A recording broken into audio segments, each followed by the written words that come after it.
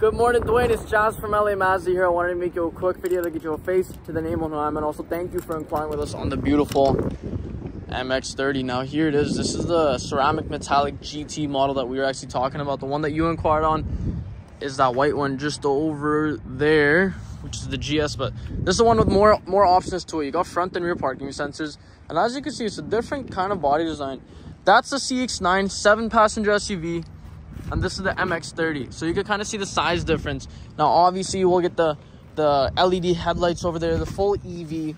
This one also does have your advanced keyless entry. So you put your hand there, and all knocks, and it folds out your mirrors, opening up the door. Beautiful interior, actually. You get your two-tone interior. Now, Mazda's interesting concept on this vehicle was that 90, it was something in the 90% of this vehicle on the interior was used by recycled material because to represent green.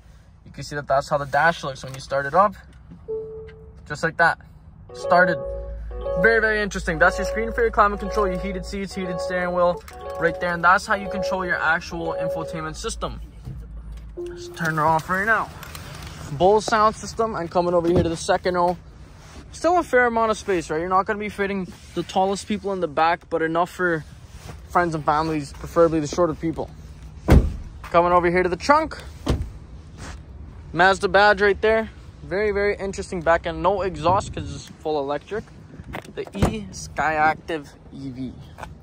That's your charger that you're going to be using. You can use it at home and privacy cover comes with, with that as well.